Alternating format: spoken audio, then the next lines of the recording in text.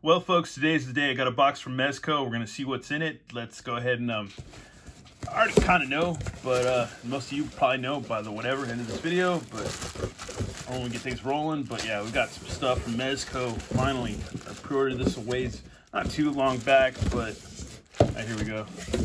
Yeah, that's a hint to anything. Mr. Dr. Nocturnal.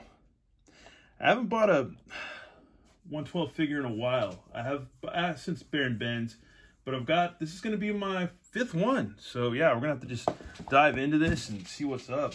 Uh, yeah, this is, is going to be really awesome. Kind of giving myself somewhat of a little sneak peek. I haven't watched anybody else's reviews yet just because I don't see the point because I want, want to be excited. And um, yeah, there's a nice Rumble Society box, Doc Nocturnal. Got our little mini Mez-Itz, which I forgot to do the Mezit Mondays or Mezco Mondays thing. I forgot to do that last time I was going to do it on Instagram, but forgot. We even got a wax pack, old school wax pack of cards, Doc Nocturnal, exclusive sticker included, and something about a ray gun for the crooks in your neighborhood. This is going to be interesting. I have to see what's up. Oh man, I have to see what's up with that. So for sure, if it's a freebie or something we can order or whatever. But yeah, even got a t-shirt. So I will say this.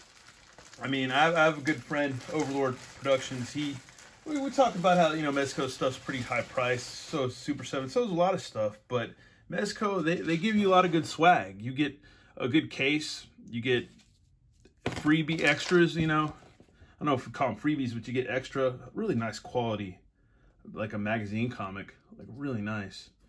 And yeah, then you get your size of shirt which I'm a big guy, so I ordered a extra extra large, I believe, on this one because I didn't want to mess around. Because the Baron Bends shirt I got was kind of it was extra large, but still kind of small. But yeah, this is rad. Got some kind of weird crawfish looking guy on there, some detective guys. It's crazy. And some gal with yeah, talking about nocturnal swinging in the air. So yeah, really cool. I can't wait to wear this shirt out in public. And yeah, not that it's a big deal, but let's go ahead and rip this guy open, see what's up.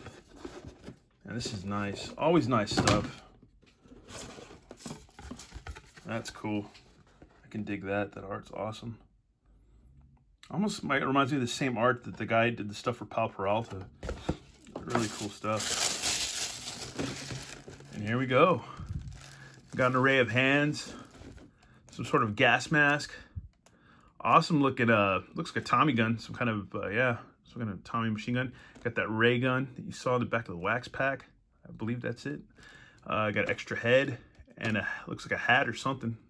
Or goggles or something, I don't know. But yeah, let's go ahead and uh, rip this guy out and check him out.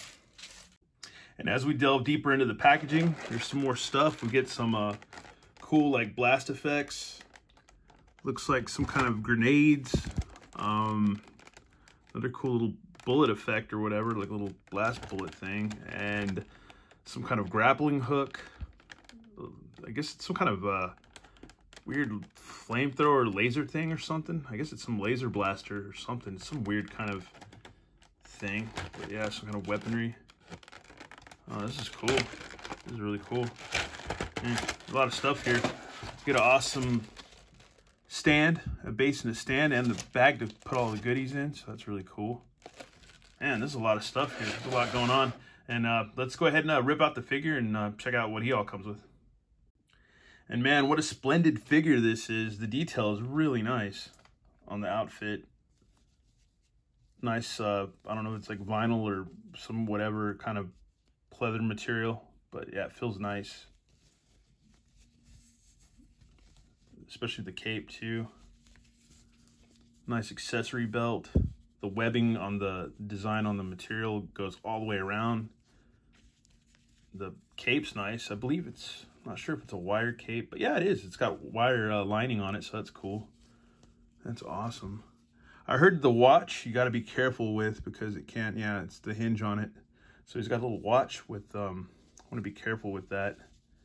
You can see there. With some little kind of radio, uh, kind of radar thing going. That's pretty neat. Let me not lie, that's pretty cool. We'll get a little closer. Closer. See if my hand stops shaking. Yeah, that's pretty neat. That's awesome. I want to be careful with that because I can't remember who reviewed this before. It was the Floosh or somebody or Toys. Somebody that my buddy Overlord told me about that reviewed this and said that yeah, that watch is pretty. Um, gotta watch out for it. Let's get focused there. Yeah, there's a cool holster.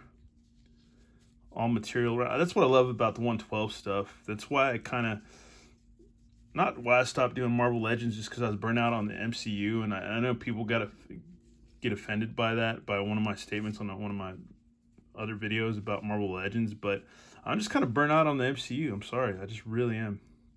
I really, really am. Doesn't mean I don't like Spider-Man or the Hulk or the Ghost Rider or many other characters like Death's Head, Deathlok. You know, I like a lot of characters, Fantastic Four, but um, just kind of burnt out and interesting. Kind of want to handle this figure with kid gloves. I don't really want to go crazy on exploring too much. And um, it looks like can't tell if there's just a swivel or a little bit. Of, there's not too much give on the feet, but I don't want to go nuts with just jacking with stuff. I'd rather do my chintzy review tonight and then look at somebody else's and see what they do theirs because I paid a lot of money for this and I don't want to break anything and I don't want to get too handsy and um but you'd probably say what's the point of uh not getting handsy enough and not exploring what you bought but I just want to take my time because these figures are kind of like an investment in a way too. Very much so. And I really would like to get the Bluto uh, for the new Popeye 2-pack that they released. And then you can pull his hood back. Nice skull. Awesome skull. I don't know. I wonder if this is like the same skull that would come with all the other Rumble Society guys, or if that was the same type of skull that was with the um, ones you could send off for. Awesome skull on his chest. There's just a lot going on, man. This is a really cool figure. I really want to figure out what's going on with the feet, but yeah, they, I don't know. Just want to take it easy with this, so whatever. If, if that if that ruffles your feathers, I'm sorry. I'm not gonna go ape ape with the feet. I just want to chill and let this figure breathe a little bit and not go too nuts with uh, just jacking with everything yet. But yeah, let's check out the ab, abs too. But it's also going to be hindered by um, just the material of the outfit. But yeah, this is cool so far. I, I dig it. But with these figures, there's so much to explore. You got a bunch of different hands. You got two fingers pointing. You've got some, uh, yeah, just a lot of different hands, some trigger fingers, some kind of uh, open grabby hands. Just they're all different. And uh, some more like kind of open splayed fingers, holding hands. So yeah, a bunch of different stuff. So that's cool. That's rad. Got this nifty gas mask thing. That's dope. You can actually see through the the lenses somewhat a little bit. That's cool. That's like some old school Pink Floyd looking stuff. Some kind of clip thing right there holding the hoses together. So this is really interesting. Man, to these bend too, so yeah, hoses seem to, yeah, they're bendy. So yeah, I probably want to chill with that. Probably don't want to get too crazy bending the crap out of those because you never know, you might overbend and break after. Oh, here's a green skull, some black, kind of a two-tone fade. That's cool. So you can give them different. That's awesome. Here's some goggles. They look like some old riding goggles from back in the day. Somebody on a motorcycle. That's cool. That's neat, man. So much to freaking explore. Here's his gun with the, the magazine things. Let's see if I can get him out. They're kind of, whoop. Oh, that's cool. Don't know whether these, how these would fit, but we're gonna see. Hmm. Not quite sure. I don't want to. I want to go too nuts with this, but yeah. I will figure it out, but yeah, you get the idea or the gist of it, but I don't want, oh, there you go. I don't know if maybe you're supposed to glue these on or what. But yeah, somebody will chime in. There's somebody that always knows something that I don't. Oh, wait, I think you slide these in like so. Wow, good thing I'm kind of paying attention. So you just slide that in ever so gently. Yeah, I don't want to force it too much, but there you go. That's kind of cool. Probably could have slid in a little bit more, but I don't want to go crazy. So that's cool. That's awesome. So yeah, you can just slide that in and out. So that's pretty neat. Because there's like a little ridge or whatever. But yeah, that's cool. Here's his ray gun. You can put in his holster. Man, me. My hands are naturally shaky, by the way, so. But yeah, that's rad. That's really good detail. There's like webbing on the handle. That's cool. Little skull right there. This is, oh man, this is nuts. That's why I love doing 112 stuff, man. The Mezco stuff. They just really care about their fans, it seems like. It seems like they really, really do. Really good stuff. Man, whew. That is nuts. Nuts, nuts, nuts, nuts, nuts. Um, I don't, man, there's just so much to explore with this figure. I, wow, man, we're gonna, we're gonna dig deeper into this, so we'll be right back in a second. man, this might be one of the top figures of the year for me. I don't know. this thing's rad. He comes with a uh, cool little blast effect that you can peg right into this tiny hole right there. As you can see, it's kind of in there. I didn't want to jam it in, jam cram it in, but you can see the bullets. He's just spraying bullets. At, oh man, that's just rad. Rat-a-tat-tat. That is awesome. That is really cool. That is awesome effect. That is rad. That that is well worth the money, I think, man. Oh, that this is awesome. That is so sick, man. Oh my god, that is really cool. And plus with this cape, the way you can have it bent, that's just super dynamic as far as posing and figure and stuff. And you don't have to do much. Just put an accessory on. He's standing there. He looks cool anyways. That's cool. That's cool with me, man. Whew. Then here's the this weird kind of, uh, I need to read the comic. I haven't read the comic yet, but wow, this is cool. So you just stick that in right there. This cool effect. Blast effect thing. I don't know whether it's some kind of flamethrower or some kind of weird laser blaster, bazooka, sonic, whatever, boombastic ray. There's a cool little belt and stuff. Man, these are really tiny accessories. The belt's material. Clips seem uh, maybe plastic or maybe also die cast or something. I'm not sure. Uh, yeah, there's a little skull emblem again. Wow, this is just really nicely made. And I suppose you can just take off the cape, obviously, put this on because I think it's what the Dork Layer did on his one of his picks that I saw recently. And yeah, this is awesome. They did really good paint job on that. It looks kind of like rusted copper or something like that. Or oh, the patina on that's really nice. That's cool. Man, this is mind blowing. This is really mind blowing. Just all the stuff this comes with.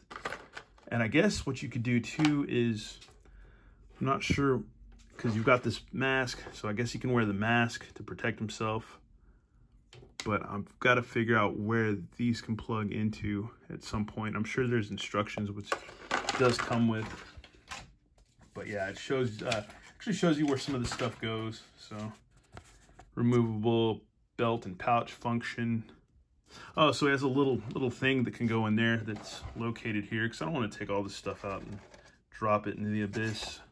But yeah, grenades that I guess you can clip on. Like oop, there they go. Told you. But yeah, okay, cool. It shows, yeah, it gives you the complete instructions on what to do with that. So that is really neat. Oh, that is awesome. Oh, he's got the glow-in-the-dark head. So that is cool. Man, let's go ahead and explore this a little further and let's get this going. Man, wow. So yeah, you can... Oh, let me take his gun out of his hand real quick because I don't want to get too nuts with just throwing stuff around, thrashing and bashing. Okay, you can take his cape off by unbuttoning. It's got two clips, so I want to handle that little... There we go. Oh, wow. All right, cool. Got that off, and I guess we can swap his... Oh, he's got a hinged jaw. That's cool. That's something I didn't notice. Wow. That is cool. Oh, head pops right off really easily, so that's awesome. Because that's the thing about reviewing figures like these. Like, you really, you can either just, you know, cut to here, cut there, but also at the same time, we kind of have to explore this because, wow, this is new to me and you. So that is cool, man.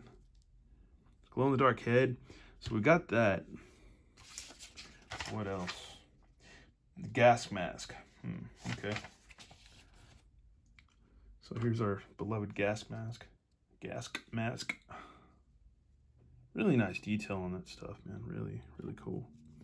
So we put that on him. I Guess it just slides right on. It's supposed to. Yeah, there's a hinge jaw on this skull too, so that's really neat. All right, it's gonna, it's gonna happen. Maybe I should just do this beforehand. Okay, there we go. Probably should just heat this thing up, but hey, it wouldn't be a proper, oh wow, you can kind of see the eyes through the mask. It's kind of hard to tell. It's easier from where I'm looking at, but yeah, that's cool. Totally just makes me think of Pink Floyd. Well, it just does. All right. But where does this plug in is my question. Where the heck does that plug into? I guess we're going to figure it out at some point, but yeah. That's weird. And we got to get his, his back piece on. Uh oh dropping stuff. So yeah. Oh, it's a death ray.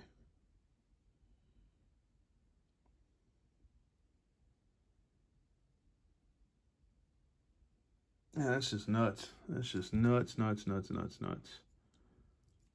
Wow. So I guess what you can do is, it's like a tiny clip there, like you would in your own backpack or seatbelt. And wow, that is crazy. That is like so tiny. That is so crazy.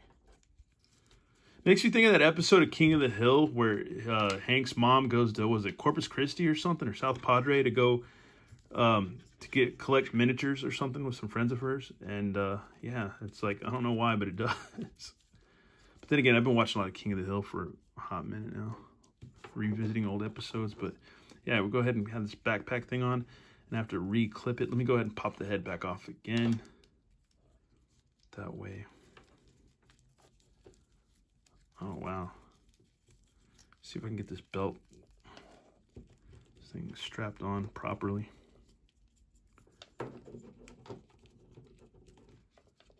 Okay. Maybe not. I don't know. Let me do this off cam. Ooh.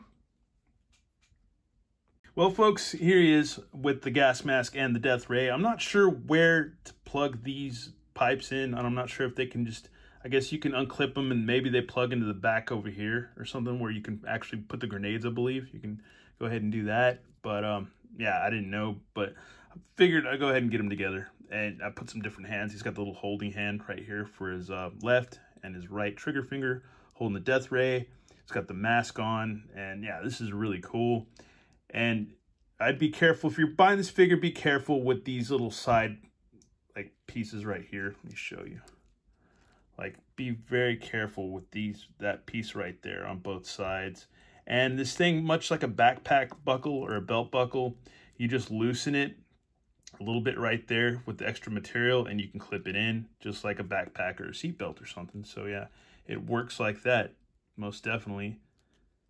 And wow, this this is cool, man. this is really just, yeah, this is, this is one of the top figures I would have to say.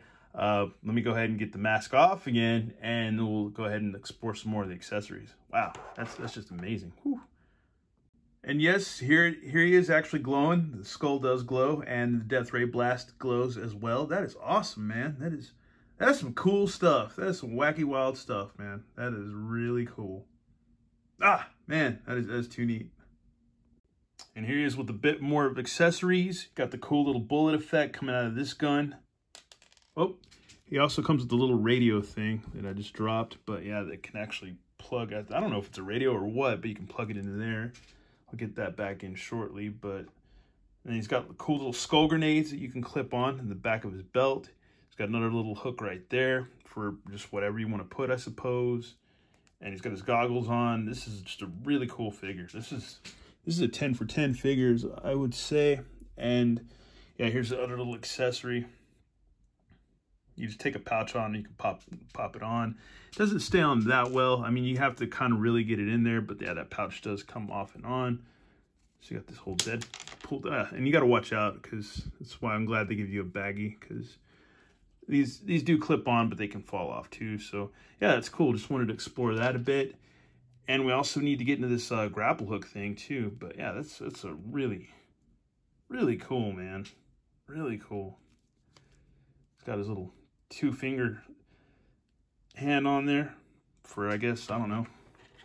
He's out with his lady friend. I have no idea. yeah, that's, that's rad. This is, a, this is a really dope figure, I, I have to say. Just super awesome. And here's this little grapple hook thingy.